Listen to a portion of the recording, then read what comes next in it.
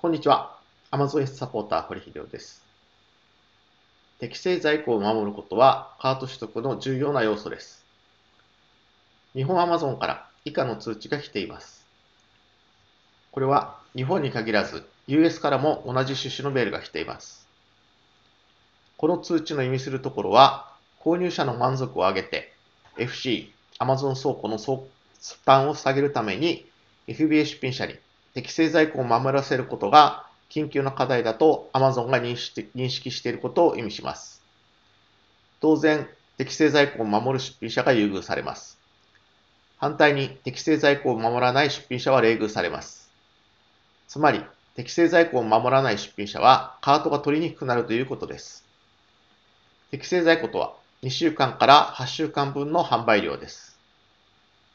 ライバルより安くしないとカートが取得できない相談を受けて検証すると、適正在庫が守られていないというケースが多いです。具体的に何をして適正在庫にするかはケースバイケースなのでご質問ください。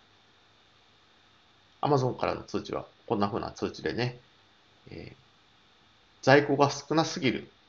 えー、出品者からは、えー、手数料を取りますよという通知です。えこれね、最近カートが取れなくて、まあ、今までだったらもっとカート取れてたはずなのになと。